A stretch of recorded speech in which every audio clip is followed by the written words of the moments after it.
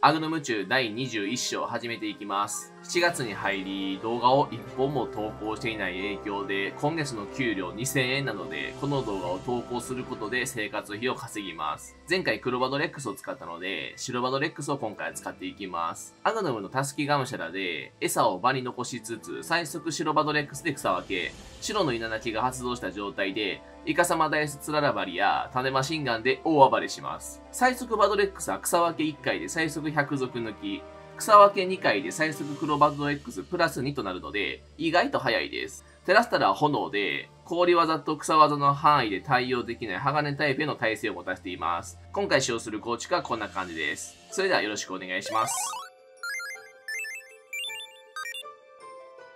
お願いします。ザシアンか。ザシアン海流居住音。まあ、ある程度一般的な並びなのか。まあ、ザシアン海流よく見ますもんね。白バドレックスを今回使っていくんですけど、レンジャー効かないやつが、まあ、居住音ぐらいかな。あと、ロトムと。で、バドレックス炎テラスなんで、基本的にザシアンに有利と来ている。ザシアンクソ早いので、レンジャー入れるとしたらザシアンかな。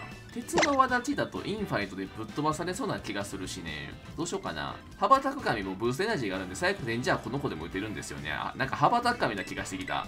ザシアになんとかデンジャー入れればバトレックスで見れる想定でいきましょうか。よろしくお願いします。あの、ポケモンしてなさすぎて受けます。それザシアンじゃねえだろ。色合い似てるけど。よろしくお願いします。いや、まで6月と7月ね、毎年忙しくて、6、7、8がね、あの自分の生活上すごい忙しくなる時期なんですよね。で羽ばたく髪か。すごい長髪の香りがする。どうしよう。長髪に合わせて羽ばたく髪に引ければマジで神プレイなんですけど。まあこの構築のやりたいことはデンジャーから入ることなので基本的にはデンジャー長髪できたらプチ切れましょう。オッケーオッケーオッケー。優しいな。でデンジャーが外れたら大パンしましょう。でまあ羽ばたく髪にはがむしゃらが通らないんでうーんアグノム切って行動し直す感じかな OK とりあえずこの子も速度的に勝てないのでできたらザシアにデンジャー打ちたいからここステルスロックですかね海竜もいるんで、パオジャーのタスキも潰しておきたいところかな。えっ、ー、と、羽ばたく神はたたり目で対処効くから、これはステルスロック。引く可能性はないかな。オッケーオッケー。まあ、今回このアグノム結構 HP 高いくせにタスキなんですけど、これ、水流ウーラオスの、おお、危ねえ。お前もデンジャーか。なんか起点にしてくる可能性あるかな、羽ばたく神。このアグノムを。どうかな？ただ、ブースエナジー発動してる羽ばたく神って、300の2分の1やから150ぐらいか、速度的に。マジフレー、オッケー。マジフレ、シャドボ、デンジャー、ムーンフォースかな？なんかデンジャーワンウェポンなのか？なるほどね。えっ、ー、と、羽ばたく神出します。どうかな？まひってる羽ばたく神にテラスを吐いてくるイメージは全然ないけど、えっ、ー、と、こっから羽ばたく神で、語り目で羽ばたく髪を処理して裏から出てくる雑誌に対してデンジャーを打つという動きを取りたいですね。この動きでまだえーと、デンジャーを持ってるようには見えないと思うんでこれ瞑想してもいいんですけどとりあえずはたたり目かな。これ威力130なんで飛ぶはずです。OKOKOK あんま構築にデンジャー仕込む好きじゃないんですけどね。なんかやられて嫌なことを人にするなってよく言われるじゃないですかもうそれですさて早教雑誌やんねこれはデンジャー行きましょうか。デンジャー打って、たたり目で削れれば一番いいけど、草分けでね、速度上げとかないと、後続から出てくる海流きついかなっていうところがあるかな。うん。まあ、えー、っと、デンジャーで想定通り行きましょう。OK、ドール。地面テラスも結構コスタイとしているんで、ちょっとそこら辺気にしてましたけど、居住山かな？居住山 OK。さあ、OKOK。理想的な展開で、羽ばたく神というか、バドレックスが苦手なザシアにデンジャーを入れることが目的だったので、これはいい感じ。ただちょっとラグノムのガムシャラが行かせてない。草分け2回打っときたいよな。2回打てば、えっ、と、裏の2匹のポケモンに対しても、上が取れるんで、あの、パオジャンね。まあ、パオジャン、バドレックスの対面で勝てそうですけど、絶対レッドとか打たれても嫌なんでね。で、ここは居住山打たれると、バドレックスが飛ぶので、ここは炎テラスですね。もうザシャン飛ばしてラス1勝負に持ってってもいいんですけどムブリバトレックス案外柔らかいんでおザシャンバック2人に引く？ロトム引きうますぎんか？ロトム引きうますぎんうますぎへんですけど草分け打ってますよちゃんと。ロトムがスカーじゃなければこれは上から殴れるけどロトムどうだろう？直径かな？これ最終ターンバトレックスのテラス読み切らないとダメだな。確定に取りたいな。あー取れてない。取れてないですね。残念ですね。イカサマダイス種マシンが。さあ行くぜ。乗り込め。オモンが発動してもいけるはず。直帰っぽいよな感覚。よし。一撃で飛ばされるとしたら地面照らすぐらいか。てかなんか炎テラバでも飛ぶ気がしますけどうーん相手の果実でテラス吐くしかないと思うんでツララ落としを打ちます。あツララバリを打ちます。これ地面テラスやってちょっと褒めてくださいあの3週間ぐらい僕ポケモンしてないんですけど腕がなまってねえなっていう評価をしてください。ウステラだ炎テラスやった！麻痺らせるんで。麻痺らせるんで。麻痺らせるんで。あの麻痺らせるんで。えでもこれどうかな？向こうからの打点。ステラバーストがある。ちょっと待ってステラバーストやばい。あるかな？ステラバースト。入る？能力差上がるんでステラバースト。あ麻痺らせるんで。麻痺らせるんで。あよかった。聖剣大丈夫全然大丈夫聖剣は。よかったよかった。あぶねー全然余裕。じゃステラバースト見せようかな。オッケー。てかステラのまま元の姿に戻るんだ。ありがとうございました。バットよろしくお願いします。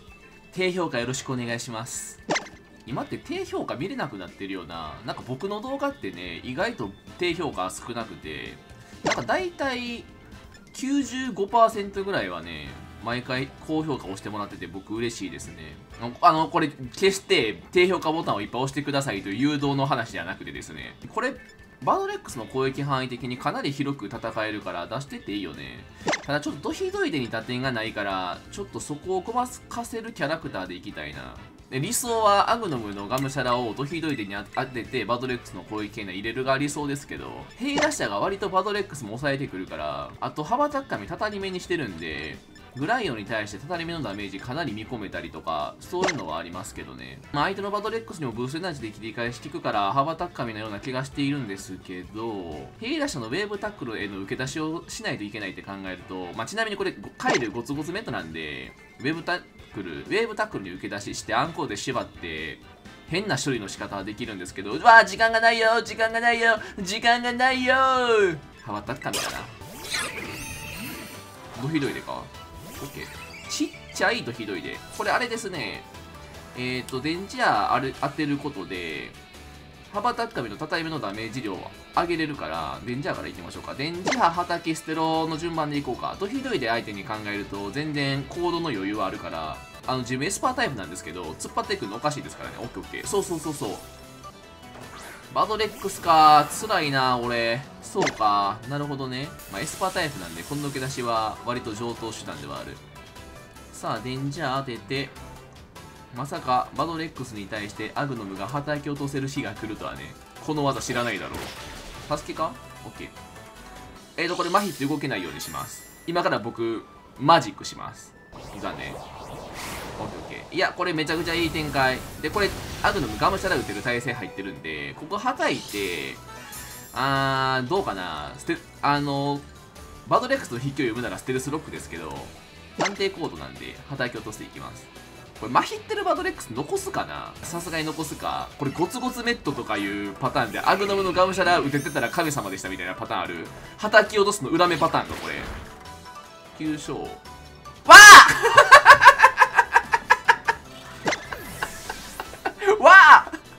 ガムシャラやったっていうかステルスロックやったおいアグノム即死トラップやめろ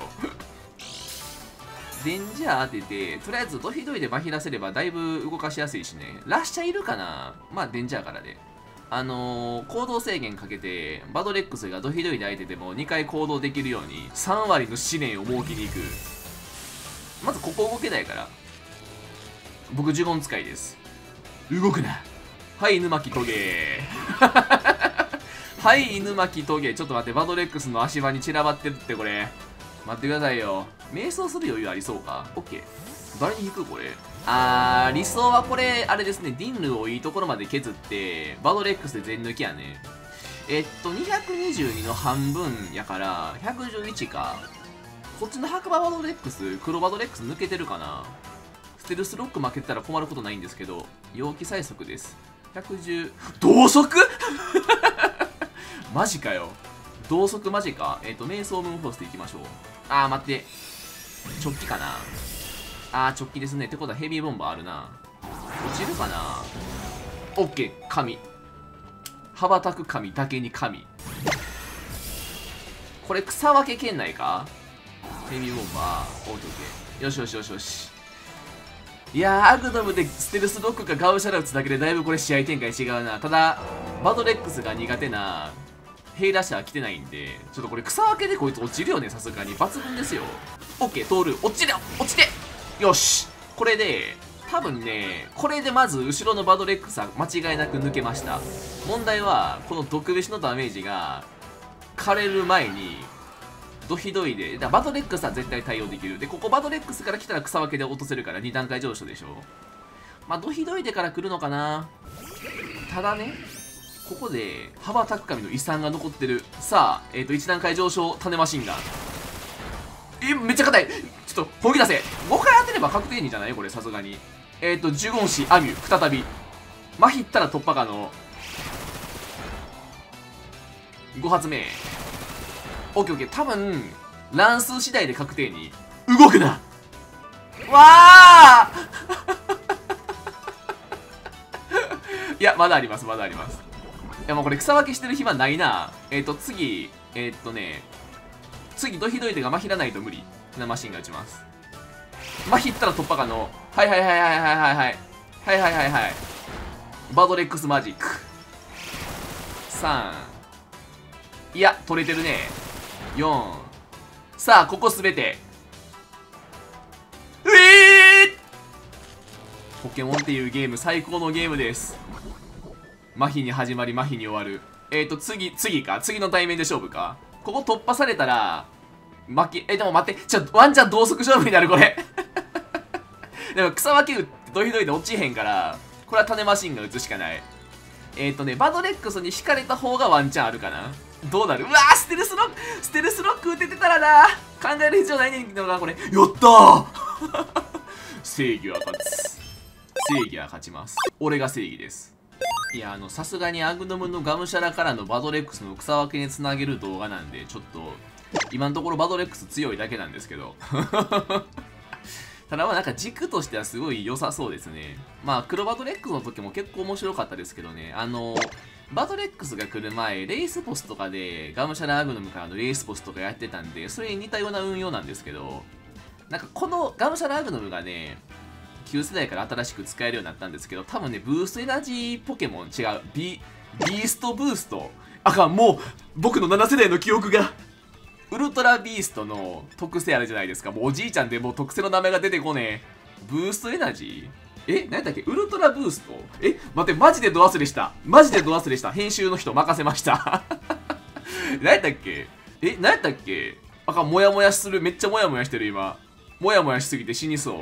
古来神には一応デンジャーが一貫してるけど、デンジャーの引き先がデンルーぐらいかな。まあ、これでいきましょうか。先生よろしくお願いします。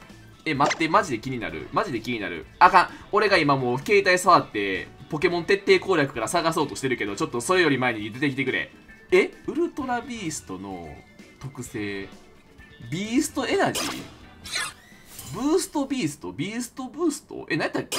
あかんマジで出てこうへんやばいおじいちゃんすぎそして神 BGM ちょっと待ってもうモヤモヤをモヤモヤを振り切ってから対戦に入る。特性ちょっとこのモヤモヤだけ振るビーストブーストやった。あれなんかビーストブーストめっちゃ違和感ある今。なんで？なんかビーストブーストっていう言葉にすごい違和感がある。ブーストエナジーのせいや。この現象ブーストエナジー現象と名付けよう。電池打ちます。トンボホライドンに当たると思うけどな。どうかなこれ鉢巻きかどうか見極めれないな。見極めれるかダメージ計算しろ早川君。ただまあ僕本名とか今開示してるからな。本名開示ポケモン実況者なんで。原田直樹みたいな名前と思ってください。行かれたポケモン実況者ハ行で始まる可能性あるよな。オッケーママンボウか。これママンボウになガムシャラ当てたいところですけどね。コライドン考えるとステルスロックか。コライドン考えるとステルスロックか。海竜とかイエユイとか考えるとどうも早川君 てかそっかアクアジェットだったわ。おじいちゃんすぎるだろ。おじいちゃんすぎるだろ。種マシンガン撃ってもし相手が麻痺ったりした時にえっと交代際につらら落としえっとつらら針打つ方が綺麗かな。えっと一旦種マシンガン打ちます。晴れてるんでね多分水技は全然入らない。熱湯が怖いけど確定には取れてそうかな。これ麻痺ってると確定に取れるんで相手を強制的に引かす動きは取れると思う。5回圏内やね。次。動くな。OK ここ種マシンガ5発ママンボウが沈みます。種マシンガンに合わせて引くとしたらトライドに引くよな。再生力欲しいよな。はい読みの一手。なまってねえねはいピンポイント OK これで5段階上昇。しかも厄介なポケモン処理できた。これ羽ばたく髪も一貫性取れるから。問題はコライドンがコライドンがこのバードレックスで何打つかだよな。えっととりあえず炎テラスは切ります。切ってただ違うな。これ自分目線からするとコライドンに打点ないな。つらら落としつらら針種マシンガンテラバースト炎通る技がないな。炎テラバがなんなら一番入るんか？これこの状態下で。絶対これフレアドライブ打つと思うんで。炎だよね OK これ晴れプラスえー、っと晴れかのテラバーストプラス白の稲垣による補正でどんなもんかな？えっとね体感4割。2体できたらベスト2体できたらベスト2体できたらベスト。てか羽ばたかみの攻撃圏内に入ればいい。直帰ではなさそうなんだよね。なんか鉢巻き癖。クリアドライブ。火力いかれてるやろ。嘘やろ。ってことは AS っぽいな。アグナムもタスキ1までいったもんね。まあ落ちないと思うけど羽ばたく神の攻撃圏内に入ればいい。あーオッケーオッケー。入ったっぽい入ったっぽい。さすがに入った。オッケー。羽ばたく神のに引いてフレアドライブの反動ダメージを43か？あれ43圏内ちゃうやろこれ。絶対羽ばたく神でスイープした方が多分勝てるゲーム的に。えー、っとテラバウってママンボウに引いてアクアジェットと落ちるルートもあるんでこれ種マシンガンですね。オッケー。えー、っとこれただたたり目で落ちるよな威力65えっとこれも10スリップが入るからえっとママンボウはもうたたり目で押し込むしかないんですけどこれ最後ちょっと読まなあかんくてミラーコートがあるからいやさすがに入ったな。オッケーオッケー。たたり目圏内だよな。え、ムーンホの方が入るこれ？95.5。あ、待って、ムーンホの方が火力出るこれ。やばい、ダメージ計算スールが立ち上がらないんで電卓を叩きます。あ、全然たたり目。ムーンフォース、今、あの、半減なこと忘れてました。嘘でしょ？あ、引くんだ？オッケー。え、引くなら、なおさら勝ってそう。たたり目2回貼るでしょ、これ。多分ね、確定に耐えてくるんだよな、これ。ママンボウ側。耐えるよね。で、ここで、ここでたたり目に合わせてミラーコートを通してくると思うから、ここに瞑想だな。ここに瞑想。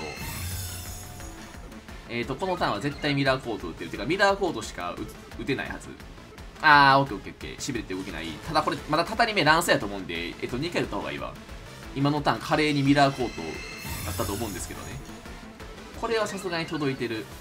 はいはいはいはい。まあまあ、あのー日常的な日常的にもね自分はあの前処しているんで。